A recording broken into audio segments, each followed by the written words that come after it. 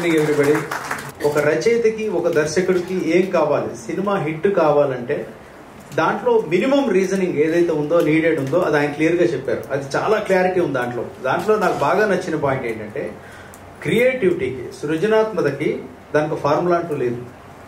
Formula మనం out of the way చెప్పి ఇది నా ఫార్ములా అని చెప్పడమే సృజనాత్మక.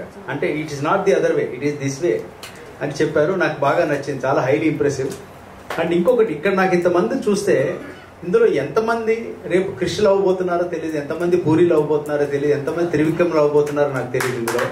ఎందుకంటే వాళ్ళందరూ కూడా మీలో ఒకప్పుడు ఉన్నవాళ్ళే. నేను ఆ నమ్మకంతో సినిమా ఇండస్ట్రీలో జీవిస్తున్నాను.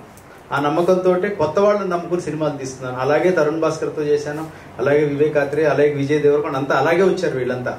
నాకు వాళ్ళ మీద కలిగిన నమ్మకం వల్ల వాళ్ళకి ఆపర్చునిటీ ఇచ్చాను వాళ్ళు ప్రూవ్ చేసుకున్నారు.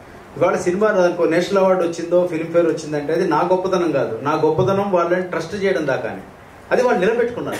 ఇప్పుడు అలాగే నేను ఇప్పుడే actually two days back sign చేశాను. ఒక లేడీ డైరెక్టర్ని ఇంట్రడ్యూస్ చేస్తున్నాను నవంబర్ నైన్టీన్త్ని షూటింగ్ స్టార్ట్ అవుతుంది. ఆ అమ్మాయి కూడా అక్కడ ఇక్కడ ఏడీగా పనిచేసి క్రిస్టిగా రెసిడెంట్ కూడా. So I just launch her so అది కూడా మళ్ళీ నా నమ్మకమే. నా నమ్మకం మళ్ళీ నిలబడాలి అంటే డెఫినెట్గా నేను ఇటువంటి పది మందికి నేను చేయగలగాలని నా కోరిక. అందులో నా గొప్పదనం ఏం లేదండి. ఆ వాళ్ళలో ఉన్నది ప్రజల ముందుకు తీసుకురావాలని నమ్మకంతో చేస్తున్నాను. సో అలాగే ఇంకొక విషయం కమింగ్ టు పాయింట్ ఇది చాలా మంచి శిబిరం ఇది ఇటువంటిది. ఇది చేసినప్పుడల్లా మనల్ని మనం రీఫర్బిష్ మళ్ళీ మనం ఒకసారి రిఫ్రెష్ చేసుకున్నట్టుగా అవుతుంది మెమరీ లోపల నుంచి. ఎందుకంటే ఇంతమంది కలిసి ఒక చోట కలిసి దాన్ని మదనం లాంటిది. మేఘో మదనంలో ఉండండి ఏమన్నా దీన్ని మీ మీలో ఉన్నటువంటి కంటెంట్ అందరిని ఒక పది మంది రైటర్స్ కలిసి మీకు పెద్ద సీనియర్స్ చెప్పడం వల్ల మీలో రిఫ్రెష్ అవుతుంది థాట్ ఖచ్చితంగా మీరు రాసుకున్న కథలు ఏవో ఉంటాయి ఇంట్లో. ఈ శిబిరం అటెండ్ ఇంటికి వెళ్ళాక దాంట్లోనే మీరు మెలకువలు ఇంకొని దిద్దుతారు. దాన్ని ఇంకొంచెం ఇంప్రూవైజ్ చేస్తారు. చూడండి మీరు. ఖచ్చితంగా బాగా వస్తాయి. ఇంకొకటి ఎప్పుడు కూడా దర్శకుడిలో రచయిత ఉంటాడో లేదో నాకు తెలియదు కానీ ప్రతి రచయితలో దర్శకుడు ఉంటాడు. అది స్ట్రాంగ్గా నేను నమ్ముతాను. రచయిత అనేవాడు ఖచ్చితంగా దర్శకుడు ఫస్ట్ తర్వాతే రచయిత.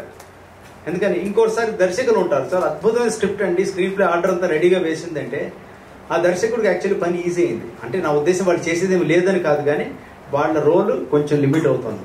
కాబట్టి రచయితలందరూ ఫ్యూచర్లో దర్శకులుగా అవ్వాలని కోరుతున్నాను. అటువంటి ఎన్నో ఎగ్జాంపుల్స్ చూశాను నేను. ఎన్నో సక్సెస్ బాటలు చూశాము. దాన్ని మీరు ధైర్యంగా ముందుకు రండి. మీలో మంచి రచయితలు ఉంటే ఎప్పుడే నా డోర్స్ ఆర్ ఆల్వేస్ వెల్కమ్ కాకపోతే నేను సంవత్సరానికి ఒక సినిమా కన్నా చేయలేకపోతున్నాను. ఇంకా చేయాలి అని ఉంది. వీలైతే రెండు చేయడానికి ట్రై చేస్తాను. So I'm very happy to be here నన్ను ఇక్కడ పిలిచిన మీరందరికీ ఈ అధ్యక్షులు ఇక్కడ అందరికీ కూడా మరొక మాట ధన్యవాదాలు చెప్తూ సెలవు తీసుకుంటున్నాను thank you also so friends ఈ వీడియో మీకు నచ్చితే షేర్ చేయండి లైక్ చేయండి. మరిన్ని వీడియోల కోసం మా ఛానల్ని సబ్స్క్రైబ్ చేయండి.